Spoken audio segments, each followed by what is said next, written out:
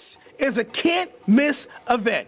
Saturday, February 23rd is the 15th annual African Festival in Marketplace, the largest African celebration in the South Shore. This year will feature, of course, African drums, History of Black Brocktonians by Willie Wilson, face painting, soul food, and plenty of vendors, including Marcia Fleming of Essentials Jewelry.